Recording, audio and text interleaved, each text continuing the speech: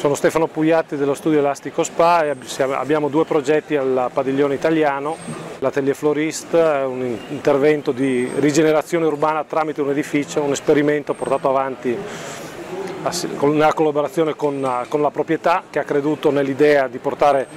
un oggetto per il lusso all'interno di, di un paesaggio urbano degradato per rigenerarlo. È un innesto di tipo fisico ma è anche un innesto di tipo sociale due, due, mondi diversi che si toccano e in qualche modo tentano di contaminarsi, sperando che quello, diciamo, eh, che quello nostro riesca a contaminare la, il resto del, del tessuto. L'altro progetto è eh,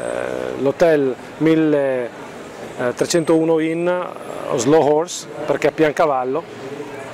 ed è uno, invece un, un, progetto molto diverso, un progetto invece in cui ci è stato richiesto di fare qualche cosa che riportasse lo spirito della montagna all'interno di una stazione turistica degli anni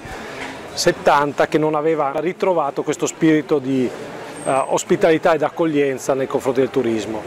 È stato un, progetto che ha avuto un suo successo e, e di cui ne siamo contenti, di nuovo l'abbiamo affrontato non come, tanto come un innesto fisico ma come un, un innesto spirituale in qualche modo, per ricreare uno spirito. Per quanto riguarda in generale il senso di questa biennale, è una biennale molto diversa da quella che avevo visto prima,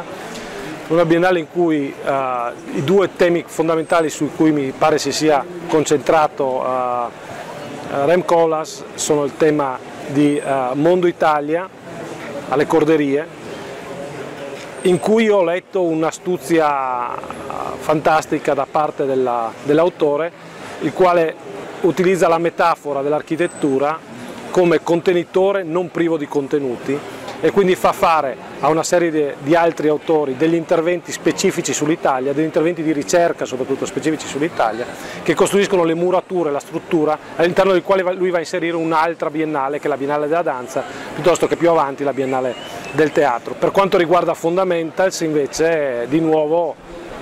Cola spiazza un po' tutti perché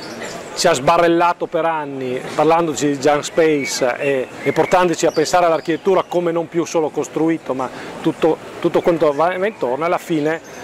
dopo averci confuso ci riporta alle basi, ai fondamenti, gira a destra, gira a sinistra, gira a dritto, cioè spiega il tetto non, perché te, un tetto è un tetto e forse a parte il tetto è quella meno riuscita, eh, però per esempio parla molto bene della porta, la porta che non serve solo a entrare, serve a controllare, serve a separare, può essere fatta in molti modi e può avere molte funzioni. Penso che l'aspirazione di, di Cola sia diventare un nuovo Vitruvio, uno che ricrea questi fondamenti e forse è sulla strada buona, dico io, ed è la prima volta che mi sento un colassiano e mi, fa, mi va bene, mi, uh, adesso potranno dire che faccio il colassiano anch'io, perché questa volta mi ha convinto.